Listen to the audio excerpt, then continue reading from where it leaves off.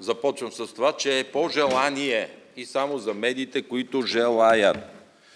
Правиме го само за хората, които искат да ни чуят и да се информират. Абсолютно по желание. С това уточнение. Тъй като има доста неща да кажем, но първо професор Кантраджиев, тъй като чух много вчера приказки за некомпетентността на щаба. Искам да изброи хората и кой с какво като експертиза е бил привлечен от мен в този щаб. Слушам го.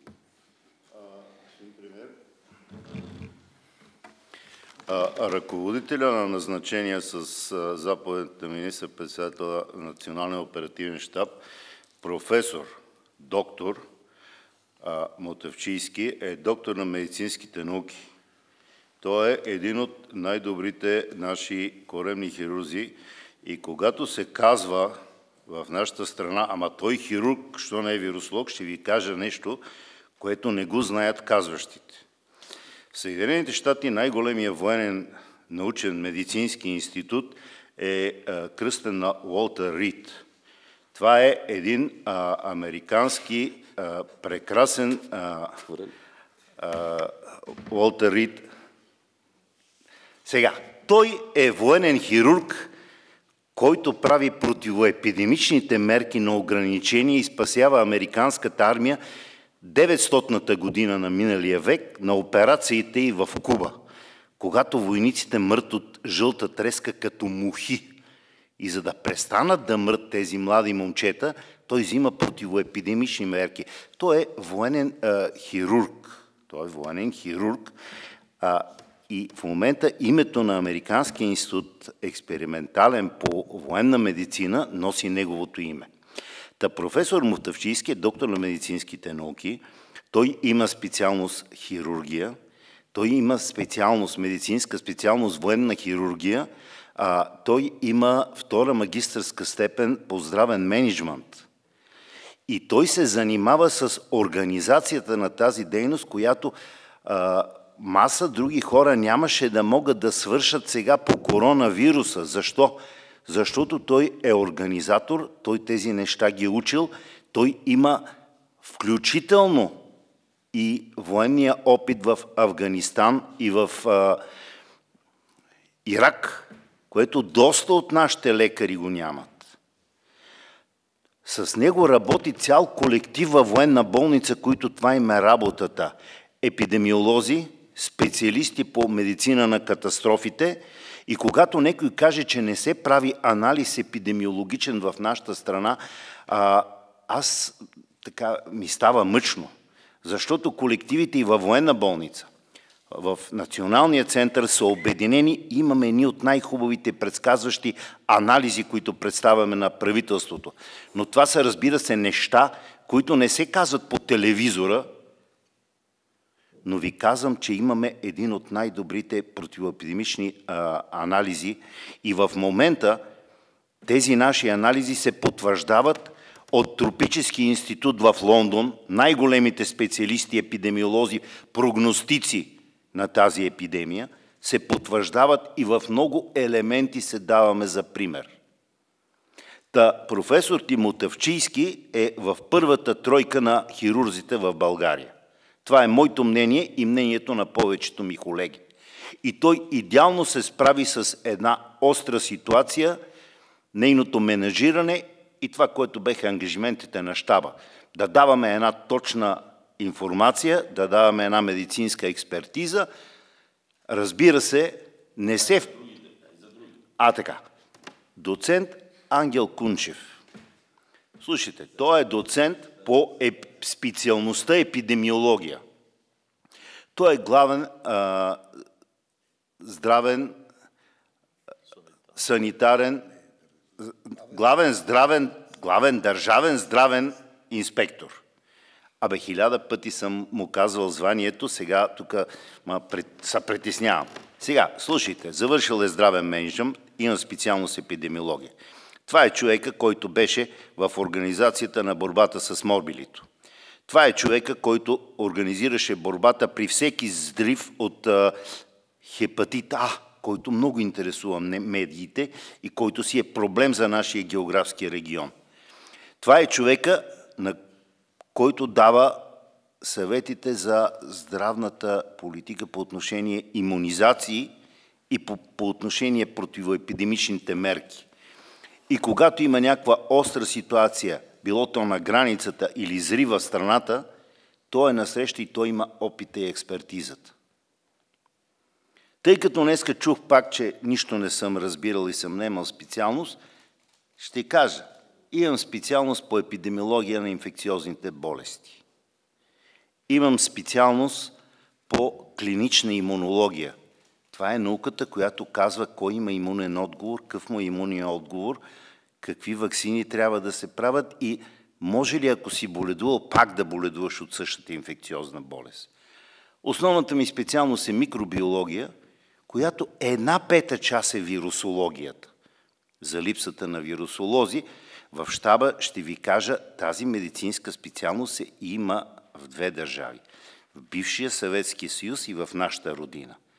Навсякъде тази специалност е заедно с микробиологията и в Съюза на научните специалности, европейските, няма самостоятелна вирусология, има си микробиология, там сме колеги, бактериолози, вирусолози, миколози, но всеки с областта си на инфекциите, причинени от микроби. Какво да ви кажа за квалификацията на другите колеги, които са, но да ви кажа това, че до сега съм си мълчал, когато са ни обиждали, че не знаеме и не можеме, защото прощавайте, фактите, гледани от непредобедени хора, мисля, че са красноречиви за нашата работа. Искам да благодаря, че все пак можахме, бяхме поканени и свършихме нещо и мисля, че имаме потенциал да вършим още. Благодаря. Отговаряме индиректно на всичко, което чух в следващия ден, в вчерашния ден. Включително и днеска продължават с измислицата, че бил затворен щаба. Бил затворен щаба. Той вчера работи цял ден, днес работи цял ден, заедно един по един влизат министрите. И след малко ще кажа какви мерки сме обсъдили, там където щаба има разнобой или разногласие, или не сме абсолютно убедени, не ги приех. Как може да излезе опозиционен лидер да каже, че съм закрил щаба? Това е лъжа. Поредната лъжа. Лъжа, която не знам какво цели. Лъжа. Но и в началото, и в края искам да изкажа съболезнования на двамата вече починали лекари. И истински страдаме и съжаляваме за тях. И отново се потвърждава това, което преди два месеца ви казахме. Че тези хора, които са на първа линия, медицинския персонал, държи твърдо към момента 11% заболяемост. И всички мерки до тук, които сме въвеждали, тук много голяма скоба отварям. Благодаря на всички, които са дисциплинирани, които спазваха дистанцията. Да не съжаляват, защото само благодарение на тях, на тяхната дисциплина имаме тези резултати към момента. Сме най-низко, долу по заболяемост и смъртни случаи. За съжаление, хората на първа линия, така и на фронта, така и винаги, се дават свидни жертви. И ние страдаме и скърбиме за тях. Но всички усилия на тези, които си стоят по домовете, на всички вие, които на екраните изписвате, останете си вкъщи, едно голямо благодаря, защото благодарение на това сме на този етап, който сме днес.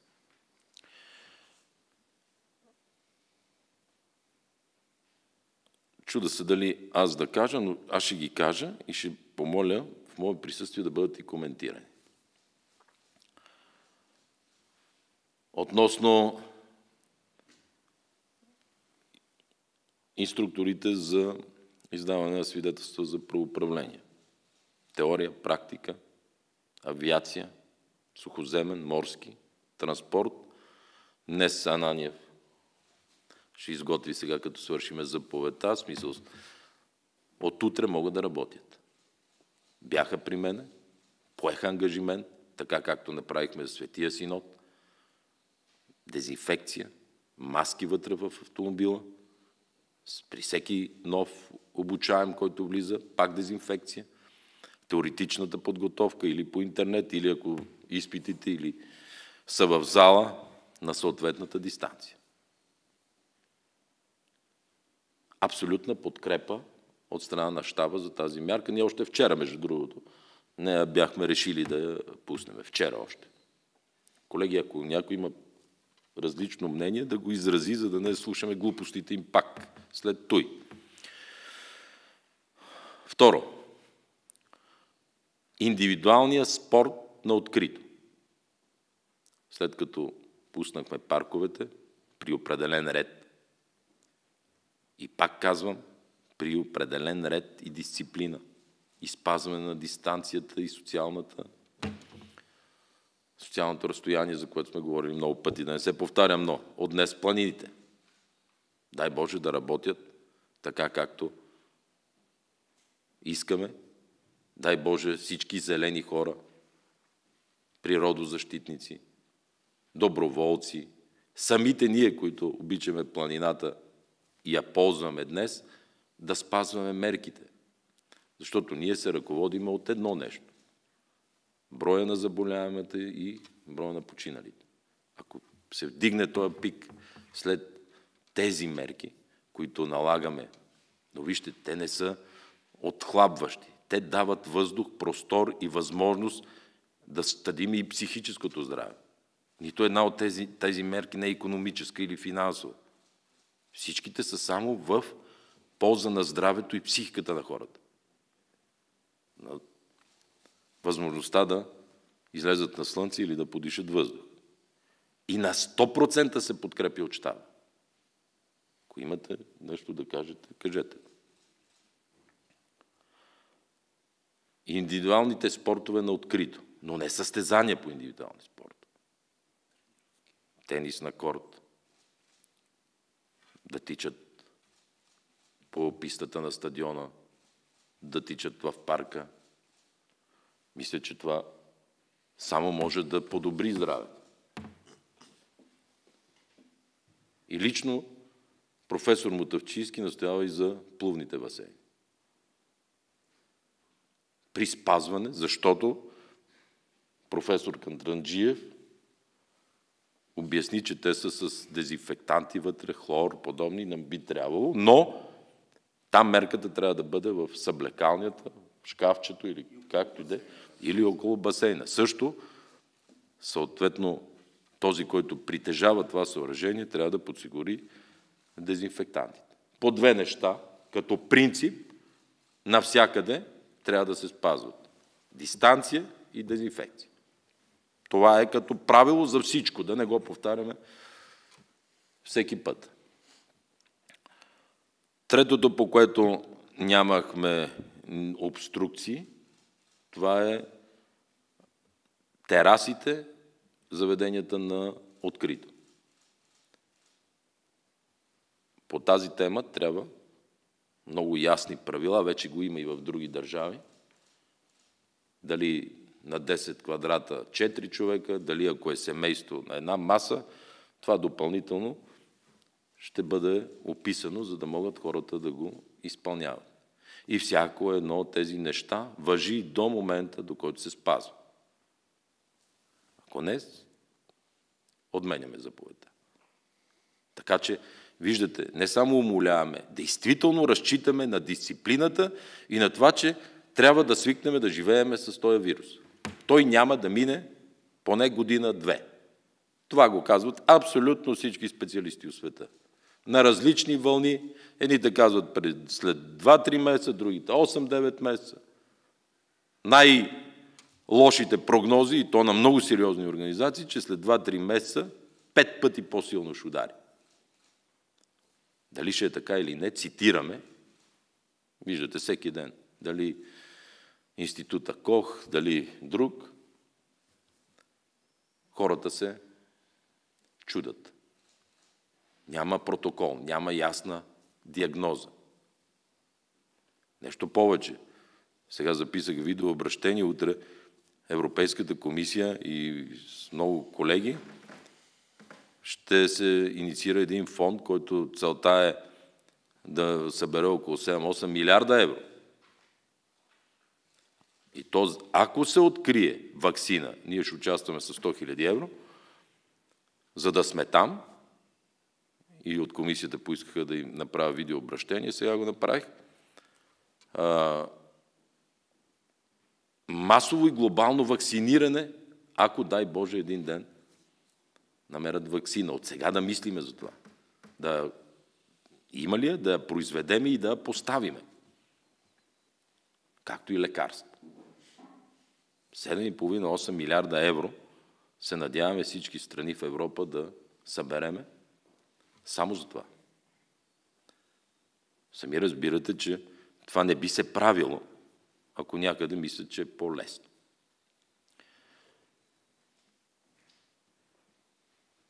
Думата извънредно положение създава допълнителен стрес, макар че видяхте, Франция вчера го удължи до юли.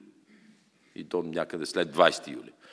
Аз съм убеден, че и другите колеги ще прибегнат към тази мярка.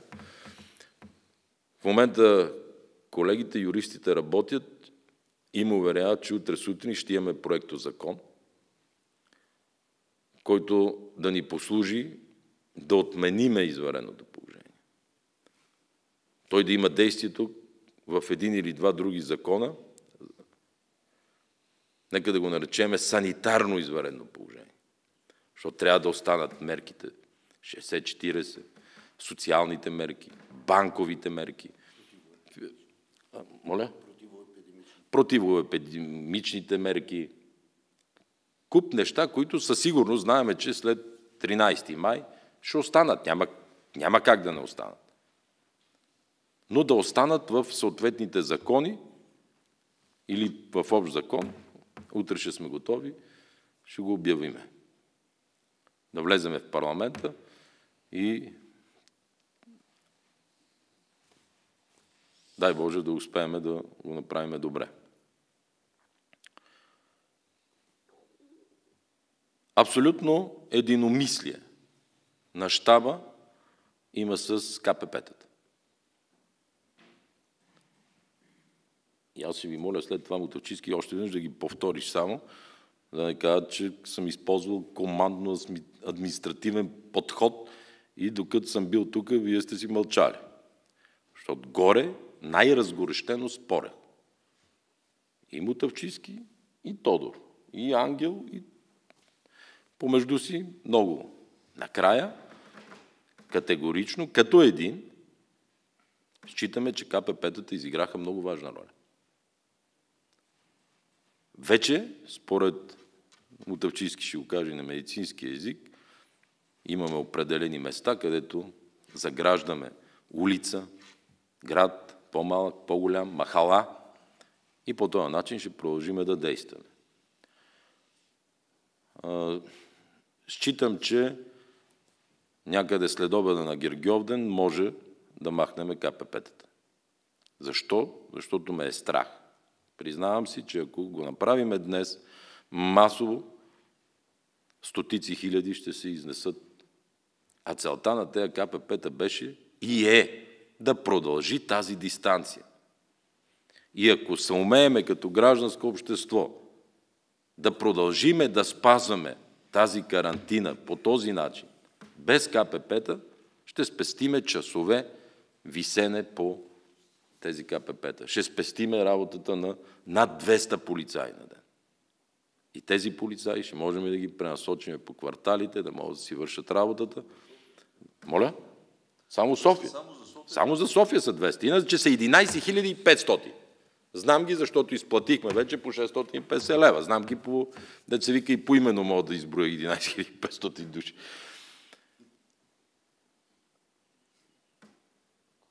Категорично единство.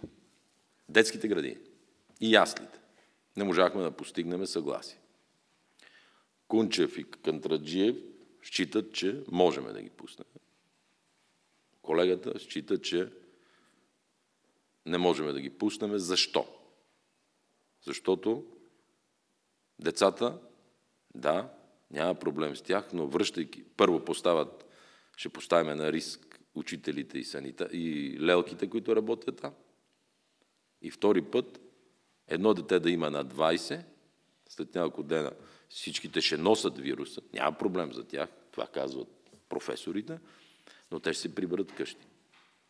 И тогава вече ще имаме епидемия, която според генерал, аз му вярвам, и затова не се съгласих за детските години и яслите с мнението на всички останали, които настоявах. Защото много са аргументите, финансовите за. Когато работят яслите и детските градини, много майки, много родители могат да отидат на работа. Две седмици задържане на този процес е към 50 милиона. Защото трябва да решиме какво да изплащаме. А това са вашите, нашите пари. Но, още от първия ден сме казали, че здравето им да запазиме колкото може капацитета на болниците, да го укрепиме максимално, е водещата цел. Затова оставихме да видим как ще върват тези мерки. В няколко държави в Европа мислят да пуснат от 4 май, мисля, че беше Германия, Австрия. Ако греша, извинявам се, яслите и детските градини. Една седмица ще наблюдаваме дали ще има пик и какво ще се случи, защото риска според генерала е сериозен и тогава пак ще се събереме да прецениме за яслите и детските градини. Аз друго не се сещам.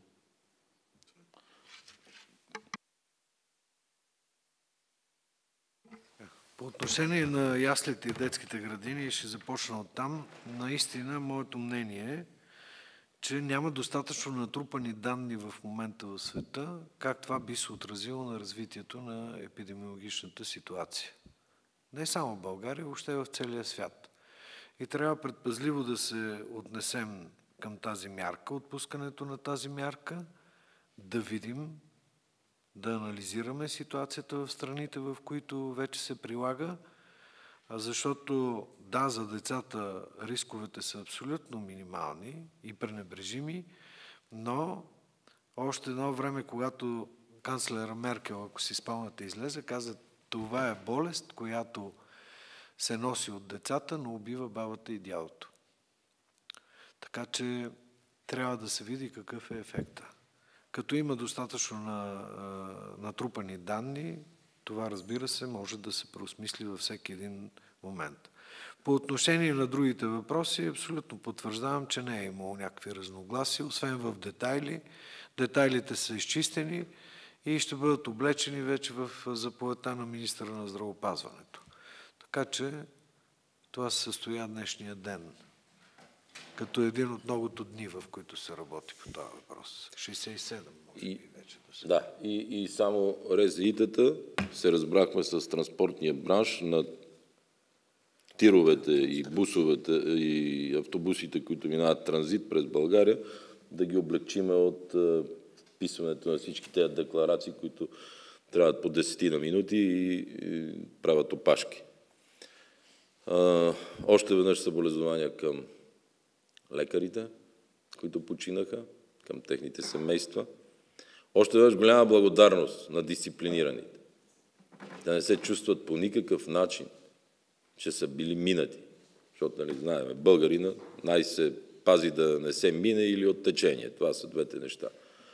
Тези хора са толкова герои, колкото и всички останали, които помогнаха и помагат да останат хората живи и да сме, пак повтарям, на ниския прак. Така че голямо благодаря, голяма признателност с тяхната дисциплина, с тяхната саможертва да стоят и да пазят дистанцията, са спасили със сигурност хиляди животи до сега, гледайки статистиките в другите държави. Така че, нека така да завършим. Може ли въпроса, господин премиер? Е, не, въпроси не, защото с това създаваме паника. Бяхме разпитвани, включително много от нас и от прокурори, така че е, само който иска, само по желание, само повтарям, само повтарям тази медия, която на своя отговорност си губи от времето, е, само за тях е, може. Е, веднъж в седмицата щаба ще го изправяме пред вас, да прави анализи, да обобщава, да се задават въпроси, така че и, и тях да ги щадиме. Защото аз по свое желание питам. От главен секретар ставам 5.30-6, но тези хора... Айде, той и вие ставате рано за операции.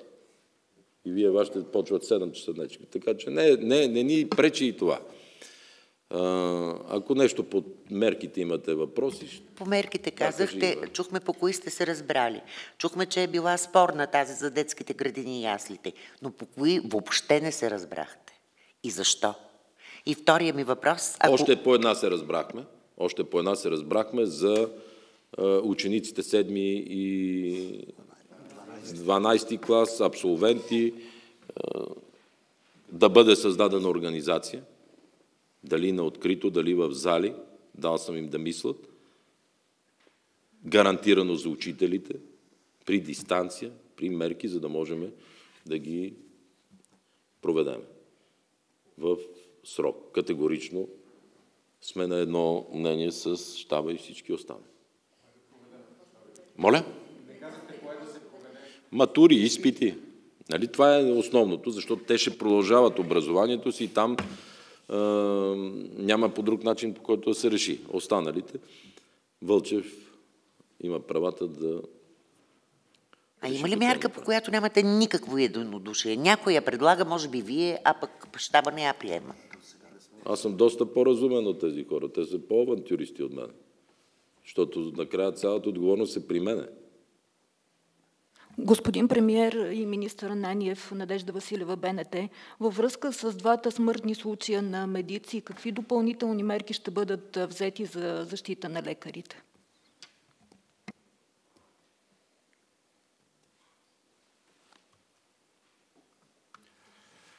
Вижте, това са два случая, които наистина са много болезнени и се отразиха много силно в обществото и дискусията ще продължи за напред какво трябва да се направи допълнително, за да не се допуска. Всички противоепидемични мерки, които се, се изпълняват до сега, ще продължат да се изпълняват и за бъдеще при още по-строг контрол от регионалните здравни инспекции.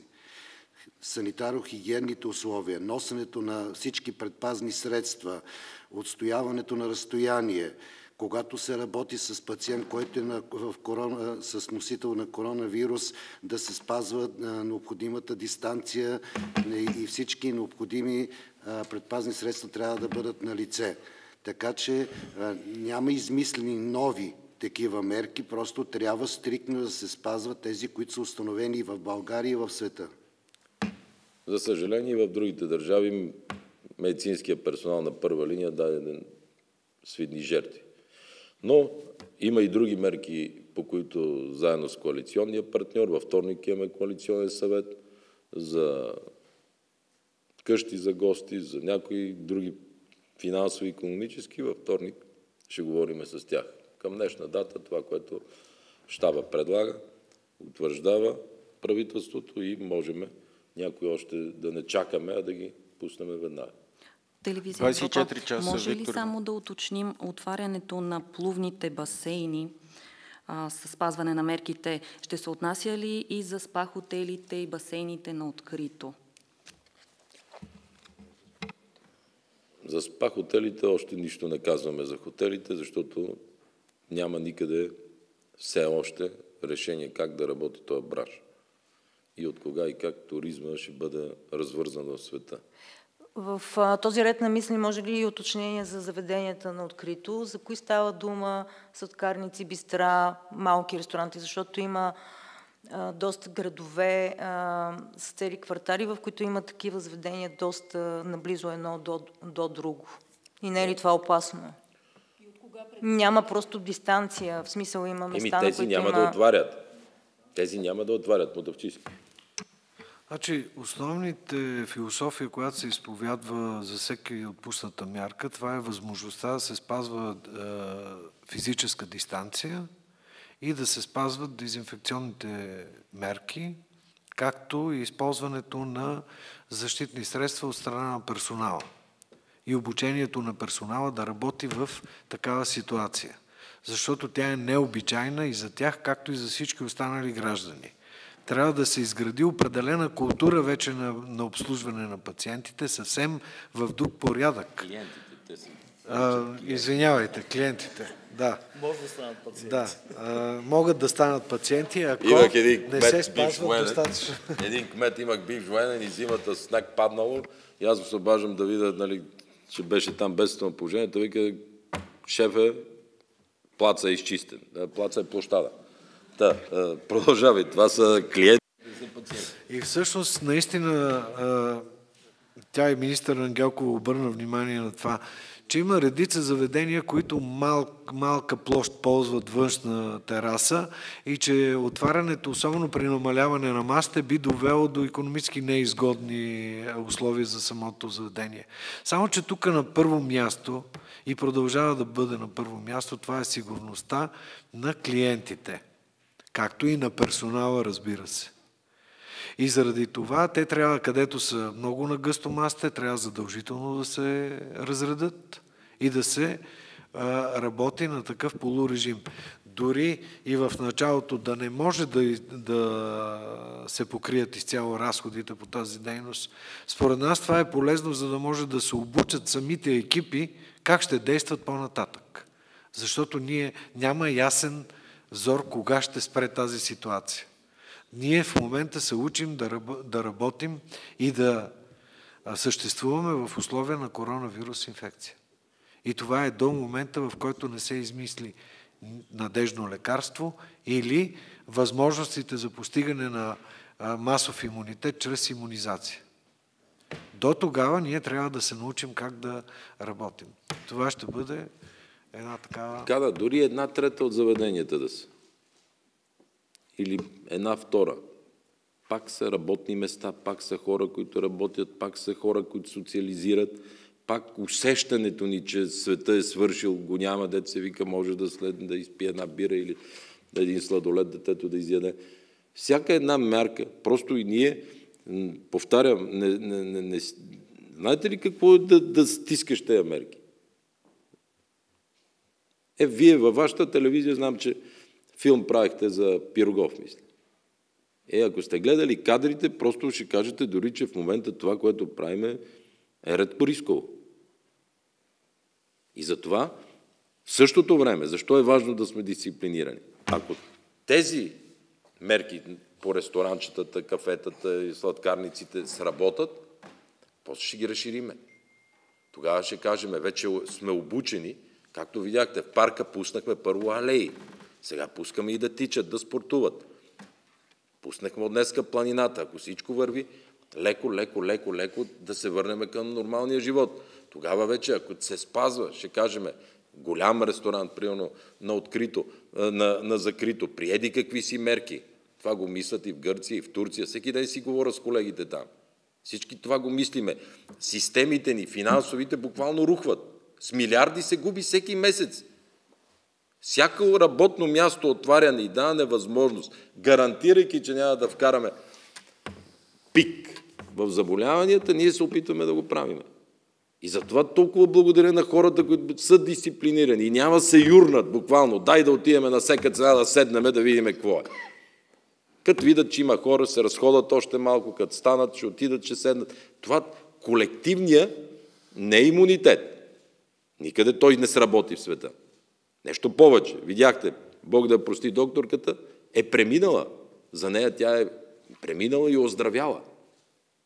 Освен това, PCR-ите, които ги казваме, че са сигурни, се оказват, че не са сигурни. Само сондата може да ти даде напълно дали имаш някъде долу по дробовете да не се правя на доктори. Аз го слушам по часове всеки ден. Си реч, мога да си мислиш, че си здрав, ма не си. И виждаш, че повтаря. И виждаш, че се умира. Никой до сега доктор не може да ми се подпише. Под нищо. И е така седиме, разсъждаваме, вирусолози, епидемиолози, хирурзи и накрая взимаме дадено решение. Само колективната дисциплина и ред могат да ни облегчават все повече и повече мерки. Не сработили, веднага КПП-та, веднага затваряме.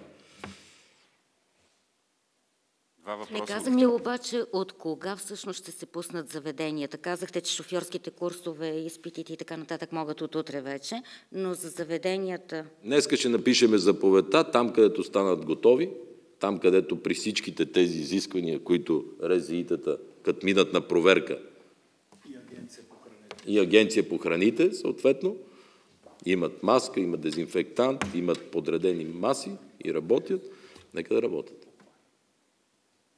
Два въпроса от Вестник Марица. Добро утро. Добър ден, по-точно от мен. Колеги, Ние пак се върнахме на старата работа. Уж ги убих вчера, уж ги погребах, уж беха затворени, ви пак същото правите сега. И после ние сме виновни. Вие вчера не ни защитихте. Не ли? Не знам, да отговарям Добре. за други.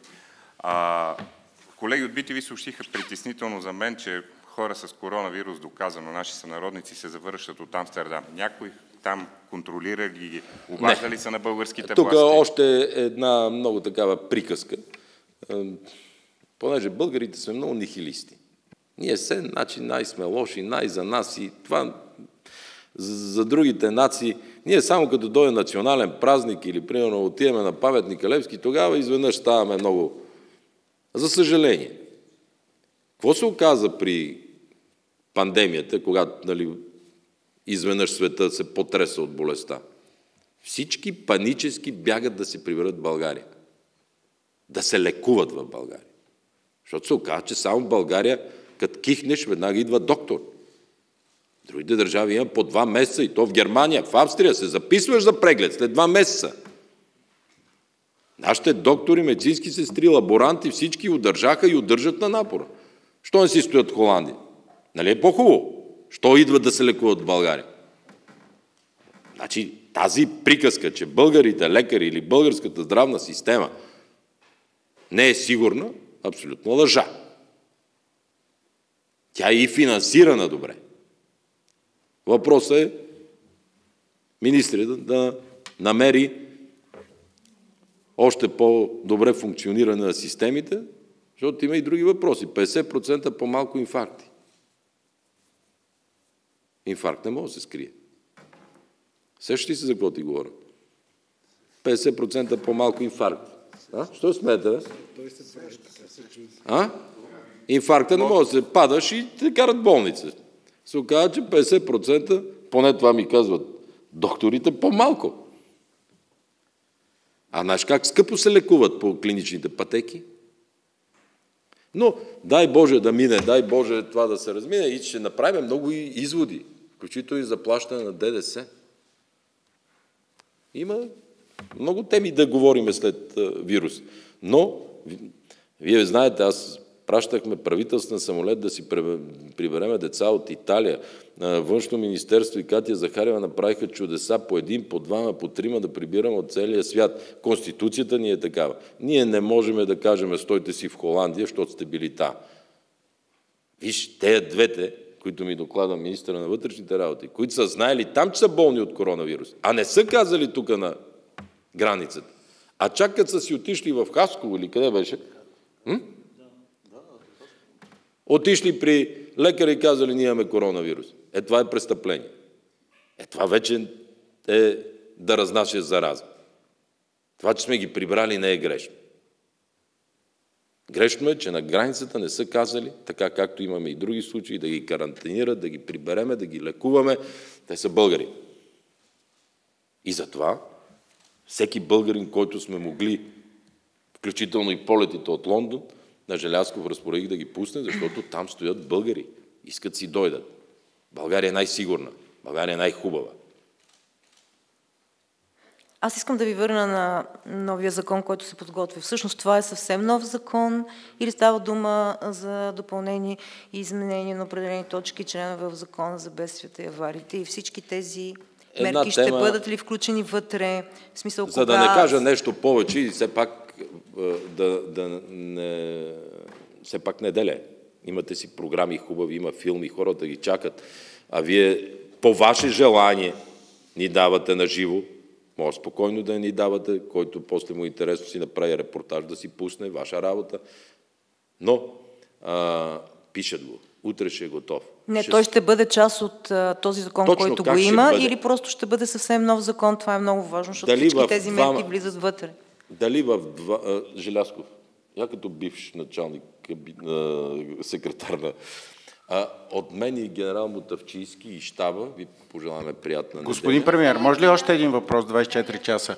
Бихте ли казали какъв е анализа на заплахите и евентуалните економически ползи от, от мерките, които се разхлабват в момента? Тоест... В момента няма економически ползи. Това, че примерно хиляда души ще дойдат на работа, на фона на милиардите, които изтичат по мярката 60-40, да речеме, или по всички останали бонуси, награди или увеличение на заплащането на медицински персонал, които се измерват в десетки милиони левове, няма никакъв економически. Нито една от мерките днеска, които казваме, не носят облегчение над хазнат. Или пренебрежимо малко. Всичките са насочени към физическото и психическо здраве на хората. До една. Колко инструктори имаме? Хиляда? И две да са. Нали, на фона на... Но е пак семейство, пак един работещ човек, пак заплата, пак възможност да обучава и да се чувства. Трябва да се научиме да живеем с този вирус. Няма да мине поне две години. А най-тежките, казах, няма да го повтарям повече, да не кажа, че ги плашим. Още един въпрос, генерал Мотавчийски, по отношение на пристигащите българи. Два самолета са пристигнали на 1 май. Има данни, че има четирима заразени, около 170 човека са пътниците. Издирват ли си останалите пътници? Те не се издирват, те са издирени, защото всеки, който влиза в България, му се пуска официална карантина и той посочва адреса, на който ще я кара. Лошото е, че сте прави последните 2-3 полета, идващи от Холандия, установяваме хора, които са положителни, за съжаление и такива, които са знаели, че са положителни или имат клиника. Издирили сме ги, започна изследване, за двама души вече имаме положителен резултат, които са били в различни полети и продължаваме да извършваме изследването. Здравейте, БГНС. Може ли да ви помоля да... само да набързо, набързо да отговоря, имаше зададен въпрос. Както знаете, в Закона за мерките и действията референтен срок е срока на извънредното положение. На 13 този срок изтича. Това означава, че всичко, което е обвързано с изтичането на този срок, би следвало да прекрати своето действие. Действащия закон за мерките и действията по време на обявеното извънредно положение основно дават права и правни възможности и по-малко ограничения. Ограниченията се съдържат в възможностите предвидени в Закона за здравето, където правомощията принадлежат на здравния министр. С отмяната на действащия закон, който ще се отмени автоматично с отпадането на извънредното положение, всъщност трябва да бъдат уредени тези последващи възникнали вече права и удължено тяхното действие, което предполага нова нормативна регулация. Затова отговора на вашия въпрос е работим по нов закон, в който ще бъдат включени всички мерки, които предвиждат права. А ограниченията, които ще се наложи да, да съпъсват ежедневието, ще се регулират на база на препоръки на щаба, на база възможностите, които Закона за здравето предполага и с заповеди на здравния министр, така както са предвидени компетенциите в самия закон.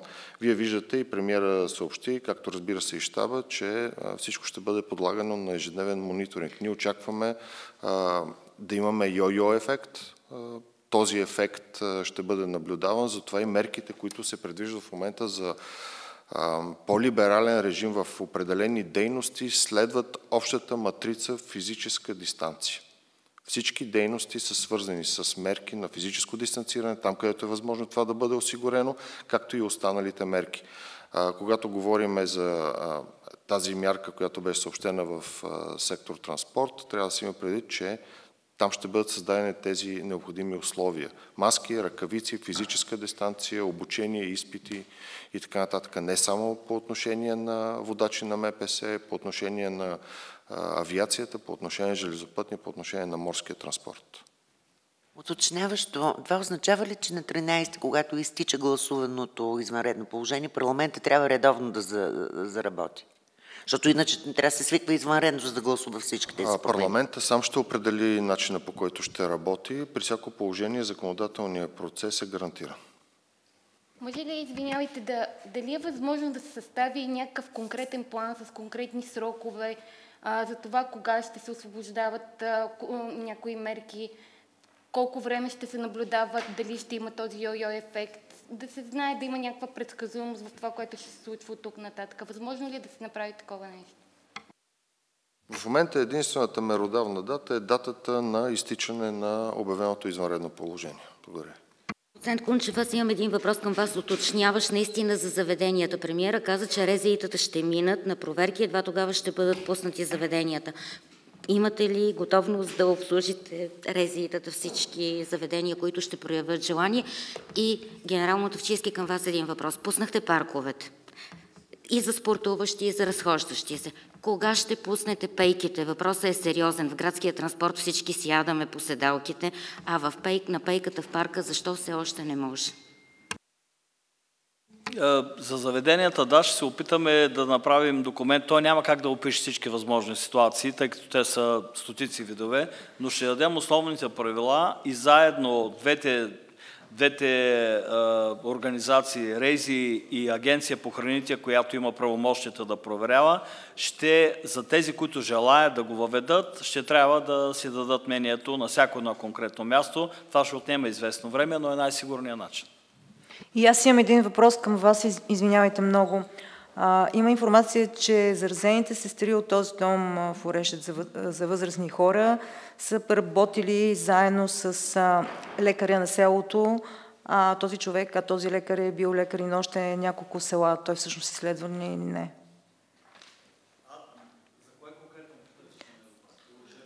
В Орешет, този дом за възрастни хора. Там сестрите, които са заразени, са работили заедно с лекаря на селото. А този лекар на селото е лекар и на съседни села. Изследвания човека или не, самия лекар? За дали конкретно той е предполагам, че е, но не мога да ви кажа твърдо. Ще попитаме директора на Рези Видин, но имайте предвид, че този лекар го намерихме много трудно и той две седмици, когато се случваха нещата в дома, не беше ги посещавал изобщо. В смисъл, в смисъл, че не е имал контакт с тях. Следванията продължават, защото тези 8 души, които тази сутрин бяха обявени от Видин, това са контактни лица на, всич... на тези работещи, въобще имащи някаква връзка с домовете. Това не са работещи в домовете. Да. Така че продължават проучванията, продължават издирванията на контактни лица, тестуването и задушаване на цялото огнище. Вижте, след всяко отпускане на мярка се изисква поне малко време, за да се види ефекта от тази мярка. Не може вчера пуснахме парковете, айде сега и пейките. Сега нека да има, да, да проследим ефекта от това нещо. Наистина. Трябва да има достатъчно време да се натрупат данни какво се случва и има ли влушаване на ситуацията. Това Може е за да всяко кажете? нещо трябва да, да бъде. И, и въобще във връзка с а, мерките, които се отпускат. Едно нещо не беше споменато. Това, което първият дебат беше с Министерски съвет сега, че трябва непрекъснато и да се запази като устойчива тенденция укрепването на болниците. Укрепването на болниците, снабдяването им с и презапасяването с индивидуални защитни средства, с лекарства, обучение на персонала за взаимозаменяемост, Знаете, че в Видин в момента, по памет цитирам, има един офталмолог, дерматолог и друг специ... кардиолог, мисля, че работеше в COVID отделението, но те не са профилни.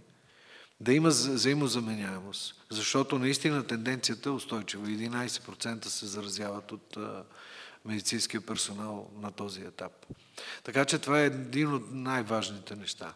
И след това, всяка мярка, която се отпуска, би трябвало да бъде анализирана как се отразява в България, какъв е международният опит в отпускане на мерките. Целият свят се учи в момента как да, как да работи в условията на COVID-19. Няма готови отговори в това нещо.